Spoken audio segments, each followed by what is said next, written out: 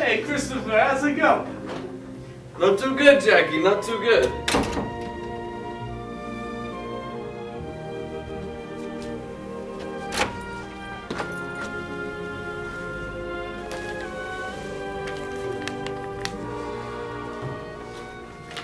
Yo, holy shit.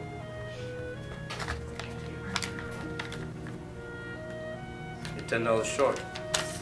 I know, Jackie, I'll get it to you on Thursday, don't worry. No, no freaking way. When I tell you to get my money every Monday, I mean it. I know, but there was this Chinese guy who didn't speak any English, and then he gave me some yen. So I Enough just thought, already. What's the matter with you? well, I'm not getting it great at home. I got this rash. Told you I don't want to hear about it. Now get me double by Thursday and we'll be alright. Capiche?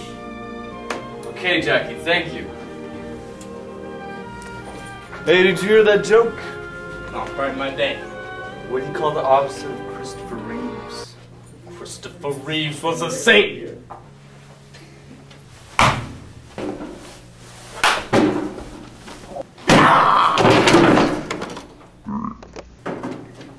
The punchline was Christopher Walken.